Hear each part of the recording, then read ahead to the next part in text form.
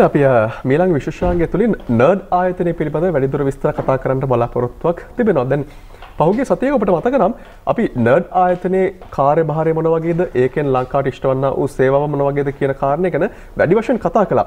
අද දවසේ දියපිටක සම්බන්ධලා ඉන්නවා නර්ඩ් ආයතනයේ අධ්‍යක්ෂ තාක්ෂණ අලවියංශය ශාන්ත ජයසිංහ මහත්මයා ආයුබෝවන් ඔබට. ආයුබෝවන්. දැන් අපි පහුගිය දවසකදී මේ නර්ඩ් ආයතනයේ කාර්යභාරය පිළිබඳව කතා කරපු නිසාවෙන්ම අද දවසේ මේ තාක්ෂණ අලවියංශයේ අධ්‍යක්ෂකතුමන් ඉන්න නිසාම ඔබේ අංශයෙන් වෙන්නේ මොන වගේ සේවාවක්ද කියන කාරණය ගැන දැනගන්න කැමතියි.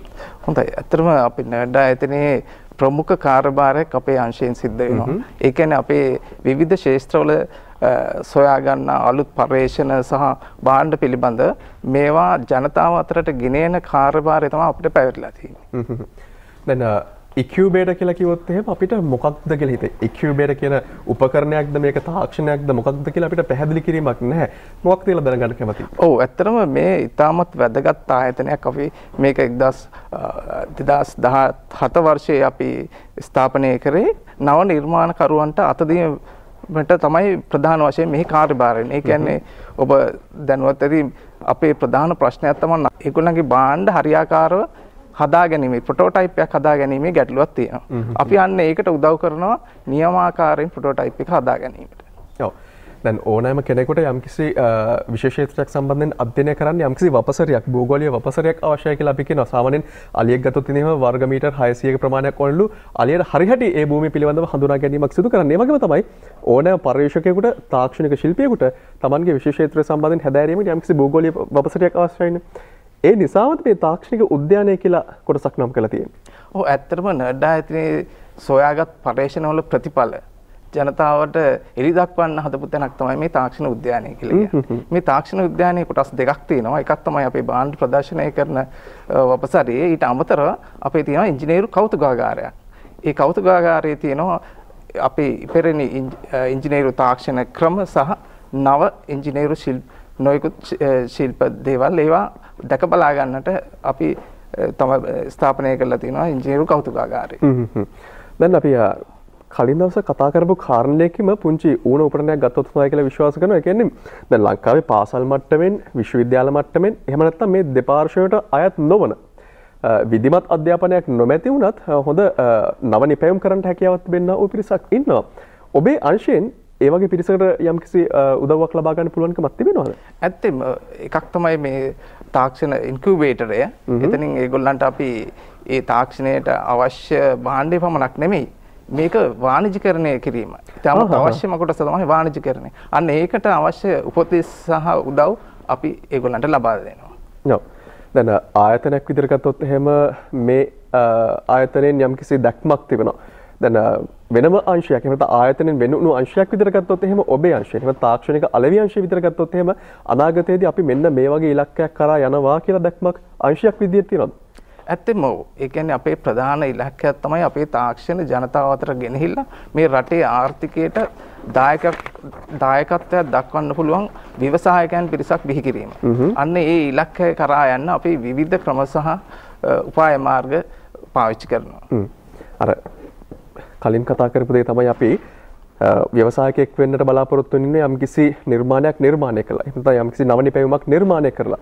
හැබැයි ඔවුන්ට ඒ නිර්මාණය නිර්මාණය කළයින් පස්සේ එතනින් එහාට මේකට අත දෙන්නට පුළුවන් කමක් නැහැ. යම්කිසි ආයතනයක් හෝ යම්කිසි පුද්ගලයෙක් අත දෙන්නේ නැතිනම් මේක අපි කොහොමද වෙළඳපොළට දාන්නේ? මේකෙන් කොහොමද අපි ආදායමක් උපයගන්නේ කියලා කෙනෙකුට ගැටලුවක් තිබුණොත් තමන් නිර්මාණය කළ දෙයක් නිර්මාණය කරගෙන අවුරුදු ගාණක් ළඟ තියන්නේ බලාගෙන ඉන්නවට වඩා මේක වෙළඳපොළට දාගන්න කොහොමද උදව්වක් වෙන්නේ? ඇත්තම වැදගත් ප්‍රශ්නයක් ඔබතුමා ඇහුවේ. කියන්නේ අපේ රටේ තියෙන ප්‍රධානම ප්‍රශ්නේ තමයි මේ නිර්මාණය නොවීම. වාණිජීකරණය කිරීමේ ගැටලුව.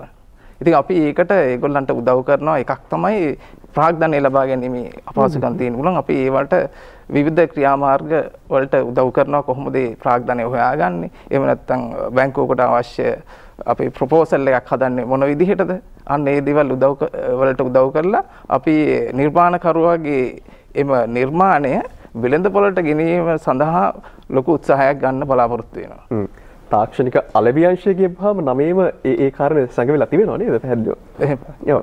එතෙන් දැන් තාක්ෂණික අලවියංශය ඇරුණාම මෙම ආයතනය තුළින් තවත් මොන වගේ අංශද තිබෙන්නේ නව ව්‍යවසායකින්ට එහෙම නැත්නම් නව නිපැයුමක් නිර්මාණය කරලා මේ ව්‍යවසායකින් වෙන්නට බලාපොරොත්තු වෙන ඉන්න කට්ටියට උදව් උපකාරී වෙන්න. ඔබ්‍යංශය ඇරුණාම ඔව් ඇත්තටම අපිට අලුත් ව්‍යාපාර ආරම්භ කිරීම සඳහා විවිධ තාක්ෂණයන් අපේ සිවිල් ඉංජිනේරු අංශය කෘෂි ඉංජිනේරු අංශය වගේ අංශ කීපයක්ම තියෙනවා. ඒ අංශවල දැනට සොයාගත්ත පර්යේෂණ ඉදිරියට ගෙනහිල්ලා ව්‍යාපාරයක් ආරම්භ කරන්න උදව් කරන්න අපි ලෑස්ති.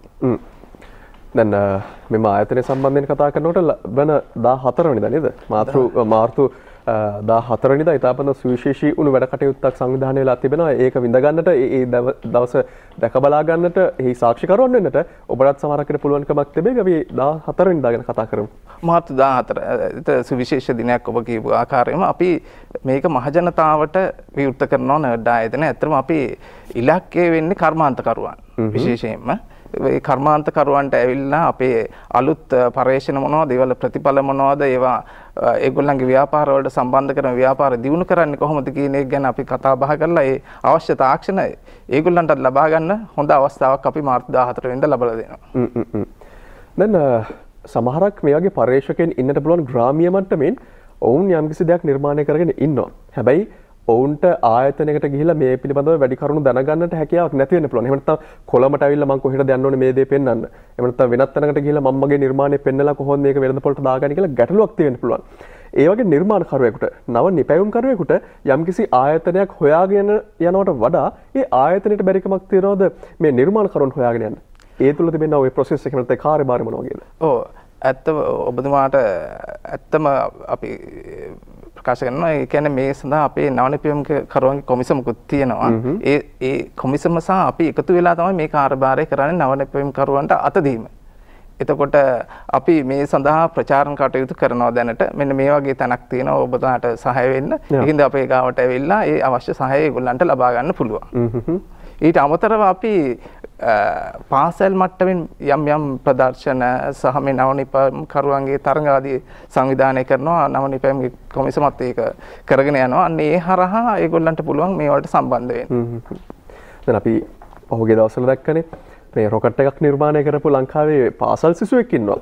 ජනාධිපතිතුමන්ගේ මැදිහත්වීමෙන් ඔහුට අතහිත දෙන්නටත් ඉතාමත් හොඳ මැදිහත්වීමක් වුණා මොකද පාසල් මට්ටම ඉන්න පුංචි දරු දැරියන්ට දෙයක් නිර්මාණය කරන්නට හොඳ ආර්ථික මේ ශක්තියක් නැති වෙන්නට පුළුවන්. ඔවුන්ගේ දෙමව්පියන්ට මේ නිර්මාණය සඳහා විශාල ප්‍රාග්ධනයක් වැය කරන්න නොහැකිවක් නොහැකියාවක් තිබෙන්නට පුළුවන්. එවැනි පාසල් මට්ටමේ දරුවන්ට මූල්‍යමය පරිත්‍යාගයක් වෙන්නට පුළුවන් එහෙම නැත්නම් ප්‍රාග්ධනය අතින් වෙන්නට පුළුවන්. ඒ වගේ දෙයක් ලබා දෙන්නට නර්ඩ් ආයතන යම්කිසි කාර්යභාරයක් සිදු වෙලා තිබෙනවද කොහොමද? ඔව් ඇත්තම ඔබතුමා කලින් අහපු කාරණය මේක සම්බන්ධයි ඇත්තටම දැන් රොකට් එකක් හදපු දරුවට අපි අපේ ආයතනයේ ඒවා නිෂ්පාදනය කිරීමේ උදව් අපි කර දැන් කරගෙන යනවා. ඒ කියන්නේ ප්‍රධාන ගැටලුවක් තමයි ඒවා හරියාකාරයෙන් නිෂ්පාදනය කරන්නේ කොහොමද? ඒ අවශ්‍ය යන්ත්‍ර සූත්‍රය ලබා ඉතාම විලා අධිකයි එතකොට ඒ ගැටලුව තියෙනවා ඒගොල්ලන්ට යන්ත්‍ර සූත්‍ර ලබා ගන්න කොහොමද ඒවල සේවය ලබා ගන්න කොහොමද කියන එක. ඉතින් අපි ඒවලට පුහුණු වෙච්ච පුහුණු ශ්‍රමිකයෝ ඉන්නවා ඒ යන්ත්‍ර සූත්‍ර පාවිච්චි කරන්න. එතකොට ඒගොල්ලන්ට අවශ්‍ය සේවය අපිට හරියාකාරව ලබා දීලා අවශ්‍ය භාණ්ඩ හරි විදිහට නිෂ්පාදනය කිරීම අපි කරලා දෙනවා. එතකොට පුළුවන් එයාට ඒක වෙළඳ පොලකට තරඟකාරී ලෙස ඉදිරිපත් කරන්න. හොඳයි. මේ විදිහට අංශයක් විදිහට ගත්තාම ඒ එතුමන්ගේ අංශය තාක්ෂණික අලෙවි අංශය තුලින් එකතු වෙලා මෙම ආයතනයට ඉතාමත් විශාල ශක්තියක් සහ ධෛර්යයක් ලබා දෙනවා ඉදිරි ගමන සඳහා. හොඳ දැක්මක් සහ වැඩපිළිවෙලක් ඇතිවයි නර්ඩ් ආයතනය අද වෙනකොට මේ ගමන් කරන්නේ. ඔබට මේ සම්බන්ධයෙන් වැඩිදුර විස්තර දැනගන්න අවශ්‍යතාවයක් තිබෙනවා නම් දැන් තිරේ දිස්වන්න වූ දුරකථන තුලින් ඔබට වැඩිදුර විස්තර දැනගන්න හැකියාවක් තිබෙනවා. 0112 236යි 284 කියන දුරකථන අංකය ඒ වගේම 0112 236යි තුන්සිය අසූ හතර කියන්න ඕදුරකතරන්ගේ ඔබට වැඩිදුර විස්තර දරගන්න පුළුවන් කාර්මික ජනපදය ඒකල ජා ඇල කියෙන් ලිපිනේ තුළිනුත් ඔබට වැඩිදුර විස්තර දැනගන්ට හැකියාවක් තිබෙන නර්ඩ් ආයතනය සහ එයින් සිදුවන්න වූ මේ තාක්ෂණික කාර්යභාරයන් පිළිබඳව. අදවසිදි බොහෝමත් වැදගත් කාරණා කිහිපයක් අපිට කතා බහ කරන්න හැකියාවක් ලැබුණා. බොහොම ස්තුතියි. අදවසිදි මේ කතා බහට එකතු වුණාට.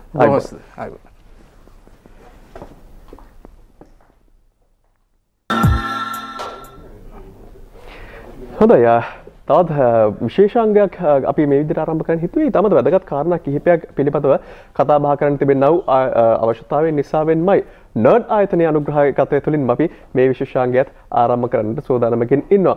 දැන් නර්ඩ් ආයතනය පිළිබඳව අපි කතා බහ කරමින් සිටිය අපි ශාන්ත මහත්මයාත් එක්ක අපි එතුමන්ව සම්බන්ධ කර ගැනීමෙන්ම මේ කාරණය පිළිබඳවත් දැන කියා ගන්නට හිතුවා. මොකද තවත් ඊටමත් වැදගත් කාරණා කිහිපයක්ම එතුමන්ගෙන් ලබා ගන්න තිබෙනා වූ අවශ්‍යතාවය නිසාවෙන්ම දැන් අපි ඉදිරියේදී 14 වෙනිදා ගැන කතා කරා ඒත් එක්කම දැන් නවනි පැවුම් කරුවන්ගේ මේ නිර්මාණ එලි දක්වන්නට ඒකේ රාජ්‍ය අනුග්‍රහකත්වය පිළිබඳව කතා කරන්න සහ ඒ දේවල් ලංකාවට කියන්න ජාත්‍යන්තරයට කියන්න ප්‍රදර්ශනාත්මක අත්දැකීමකුත් සංවිධානය කළ තිබෙනවා. දැන් මීට කලිනුත් ප්‍රදර්ශනයන් පැවැතුණා දිගින් දිගටම අපි ඒක ගැන සඳහන් කළොත්. ඔව් ඇත්තටම දැන් අපේ අමාත්‍යාංශය මගින් ශිල්ප සේනා කියලා ප්‍රදර්ශනයක් අපි ඉදිරියේදී ආරම්භ කරන්න බලාපොරොත්තු වෙනවා. ඒකට අපිට සහභාගී වෙන්න පුළුවන්. සහභාගී වෙලා අපේ තියෙන තාක්ෂණයන් සහ අපේ රේ දිස්වෙන්නෙත් ඒ ඒ ප්‍රදර්ශනයේ අත්දැකීම් කිහිපයක් නේද? ඔව් ඇත්තම අපේ තාක්ෂණ උද්‍යානයේ තිබිච්ච ප්‍රදර්ශනය පිළිබඳ තමයි ඔබතුමන්ලා දැන් දකින්නේ. මේ තාක්ෂණ උද්‍යානයේ ඉදිරිපස දර්ශනයක් තමයි ඒ තිබුණේ. අපි සංවිධානය කර අර ඔබතුමාට කිව්වා වගේ පාසල් වලට රොබෝ තාක්ෂණය පිළිබඳ තරගයක්. අන්න ඒ තරගය තමයි ඔබතුමා ඉස්සරහින් ඉස්සරහට රූපරාමය. අපි රොබෝ තාක්ෂණය ගත්තොත් එහෙම ලෝකේ පුරා පුරා මේ වෙනකොට ඉතාමත් අතිශය ජනප්‍රිය තාක්ෂණික ශිල්ප ක්‍රමයක් රොබෝ තාක්ෂණය කියලා කියන්නේ.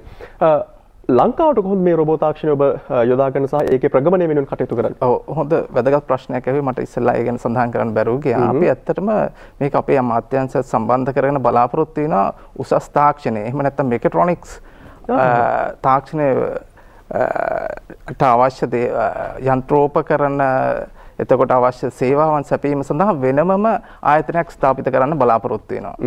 ඒක අපි විශාල ප්‍රමාණයෙන් කරන්න බලාපොරොත්තු වෙන්නේ මේ රටට ඉතාමත් අවශ්‍යම තාක්ෂණ කීපයක් අපිට එතනින් එම ආයතනය මගින් ලබා දෙන්න පුළුවන්. සෞදාහරණයක් තියෙන ඒ ස්ටෑන්ඩඩ්ස් පිළිබඳ ට්‍රේ පුහුණුවක් ලබා දෙන්න පුළුවන් එතකොට ටෙස්ටිං අපිට දැන් ගොඩක් ඔබතුමා දන්නේ නැති මේ ටෙස්ටිං පිටරට යවලා තමයි දැන් කරගන්නේ. අපි ඒක මෙහෙදිම කරගන්න ඒගොල්ලන්ට අවස්ථාවක් ලබලා දෙනවා. ඒ වගේම ප්‍රොටෝටයිප්ස් හදන එක ඒකත් එතන කරන්න ඒ කියන්නේ විශාල ප්‍රමාණයේ උදාහරණයක් විදිහට මෝටර් රථයක් වුණත් ප්‍රොටෝටයිප් එකක් කරලා පරීක්ෂණ කරන්න පුළුවන් මට්ටමේ ආයතනයක් අපි ස්ථාපනය කරන්න දැන් මේ දවස්වල කටයුතු කරගෙන යනවා. දැන් මේ ප්‍රදර්ශනයට මේ පාසල් දරුදරිනුත් සම්බන්ධලා හිටියනේ. දැන් අපි දන්නවා පාසල් වල මේ නවනි පැවුම් කරුවන්ගේ සංගමයක් තිබෙනවා. ඒ තුළ බොහෝ දේවල් නිර්මාණය වෙනවා. පාසල් විශේෂේත්‍රය තුළ විශේෂ නිර්දේශයක් ගත තින්නේ මේ තුළ කොහොමද නවනි පැවුම් කරුවෙකු බිහි කරන්නට අවශ්‍ය කරන්න ඌ මූල බීජය පැල කරලා තිබෙන්නේ. ඔව් ඇත්තම විෂය නිර්දේශය පිළිබඳව මට උගක් දුරට කතා කරන්න අමාරුයි. නමුත් අපිට ඒ සඳහා විවිධ මාර්ග තියෙනවා පාසල් යන දරුවෙකුට මේ නව නිර්මාණ සඳහා යොමු වෙන්න තාක්ෂණ විෂයන් තියෙනවා. දැන් අලුතින් හඳුන්වලා දීපු උසස් පෙළ සඳහා තාක්ෂණ විෂයන් තිබෙනවා විෂයන් තිබෙනවා. ඒ තාක්ෂණ විද්‍යාගාර තිබෙනවා? ඔව් දැන් මේ අපි ඉස්සර හිතපු තාක්ෂණ දැන් අලුත් දේවල් මේ මේ ළමයින්ට. ඒගොල්ලන් මේ තාක්ෂණ භාවිතා කරලා අපිට සමහර වෙලාවට පුදුම හිතන දේවල් මේක දරුවන් හදනවා. ඔව්. දැන් අපි අර ප්‍රදර්ශනයේ අත්දැකීම් දැකපු නිසා මේ ප්‍රදර්ශනය තුළින් Tamanගේ නිර්මාණයක් එලි දක්වපු පිරිසකට අද වෙනකොට ඒක හොඳ ව්‍යාපාරික මෙවලමක් කරගන්න හැකියාවක් තිබුණු පිරිසක් ඉන්නවද ඒ තුල? ප්‍රදර්ශනයෙන් හොඳ පන්නරයක් ලබාගත් පිරිසක්. ඇත්තෙන්ම ඉන්නවා. ඒ කියන්නේ අලුත් ව්‍යාපාර ආරම්භ කරපු පිරිසක් ඉන්නවා. ඒ වගේම තමුන්ගේ භාණ්ඩ සහ නිෂ්පාදන ක්‍රියාවලින්ගේ අගේ වැඩි කිරීමේ උත්සාහය ගත්ත පිරිසක් ඉන්නවා. ඒ කියන්නේ value addition.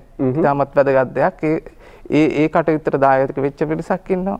ඒ වගේ අපි මේ අපේ ප්‍රදර්ශන තුලින් දායකත්වයක් ලබා දීලා තියෙනවා.